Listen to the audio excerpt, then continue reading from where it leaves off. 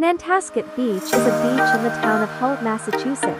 It is part of the Nantasket Beach Reservation, administered by the State Department of Conservation and Recreation. The shore has fine, light gray sand and is one of the most highly rated beaches in Greater Boston.